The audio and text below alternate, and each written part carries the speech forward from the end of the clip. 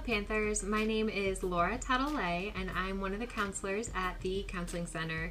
Today, we're going to talk about uh, a strategy to create art for daily inspiration. The way that we're going to set this up, you only need perhaps something like note cards or cardstock paper that's a little bit thick. That way, you can be reusing it. So, when I think of inspiration that can help me improve my mood and help me build resilience, the first word that comes to my mind is nurture.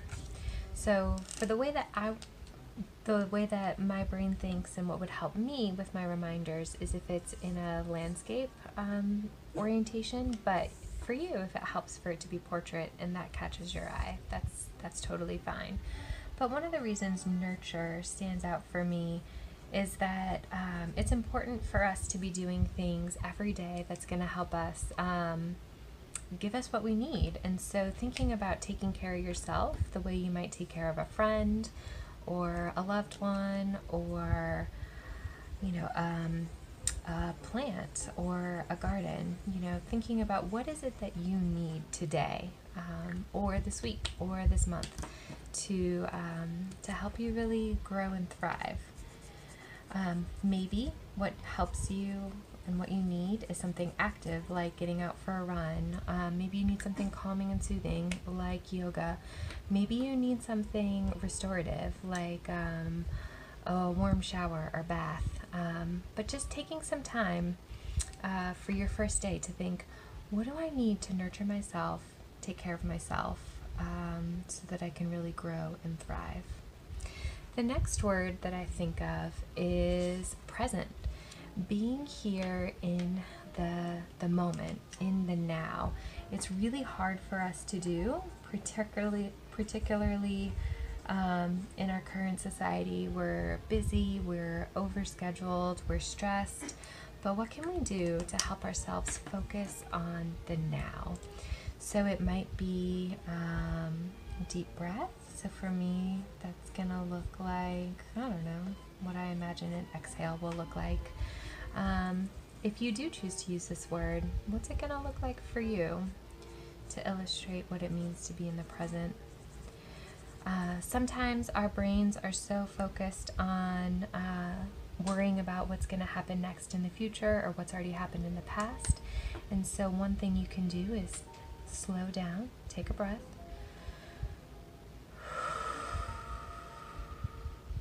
um, just to notice uh, the sensations in your body of breathing to let you focus on just what's happening this moment. The next word that I'm thinking, maybe um, you know, if you start your week on a on a Monday, then this would be your Wednesday word. Um, one word that that stands out to me is the word hope. Um, and recently, I saw hope also be an acronym um, that can also not only just thinking about that things can get better in the future, but to think of it as a shorthand for hold on, pain ends.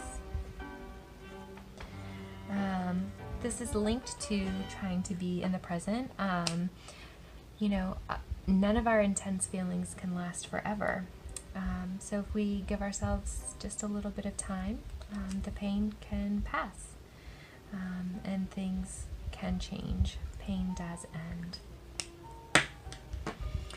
Another word that brings me inspiration, and hopefully it does to you too, is the idea of curiosity. So, when I think of curiosity, I think of um, rather than getting stuck on making a mistake, thinking about what can I learn from this? How can I take this mistake and uh, make it useful? Um, the other thing is, you know, maybe approaching things like an experiment. Um, the beauty of the scientific method is we don't always know, well, we never know how it's going to end up. Um, the whole point is to experiment and see where something goes. Um, and so, for our life, if we're under stress or if we're really struggling, um, having a curious mind about, you know, what are the different outcomes? Um, what if it actually works out in a way that, that you want? what if what seems like a mistake is actually, um, you know, the way that we discovered penicillin? Um, what we thought was a failed experiment of mold turned out to be a life saving intervention. Um, so let yourself be curious, let yourself explore and question um, what a mistake or a problem can actually open up for you. And that concept ties closely into our next word, our fifth word.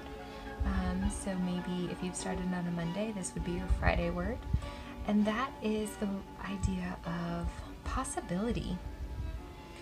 Um, again, earlier I mentioned what if things turn out all okay? A lot of times um, we're guided by the worry that um, what if it goes wrong? What if it goes as bad as I think it might? What if what if nothing works out? And instead, allow yourself to consider that that things might turn out okay. What are the possibilities? You may not know right now what your career is going to be, but what's the possibility that it could end up being something you really love doing with your life? I'm adding a sun just because, um, you know, it reminds me that whatever's happening today doesn't have to be the be all and end all, and that there are further possibilities in our future. Um, what if things get better? What if things go as planned?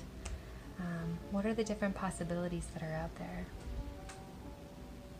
What if you end up content? So once you're done, you can um, put them together like a flip calendar or um, you might want to keep them um, separate so that you could put it maybe in um, a paper planner if you have one of those. Stick it on your mirror perhaps, or you might have a whiteboard or a chalkboard that you use to organize your week. Um, where, wherever you can put it to represent what you need it to be to help you. Now, I happen to have a one hole punch um, in my possession. If you're near a three hole punch, you could always just use the one hole of the three hole punch. But if you don't have any of that, you can always just take a pencil and poke a hole. Um, and then, you know, maybe you have a rubber band or something like a pipe cleaner um, to hook it all together, or perhaps you just have a paper clip and you can string your daily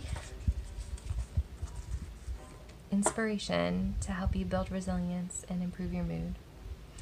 Thank you for listening and joining. Please share this video if you know anyone would benefit because we want you to be well so that you can do well.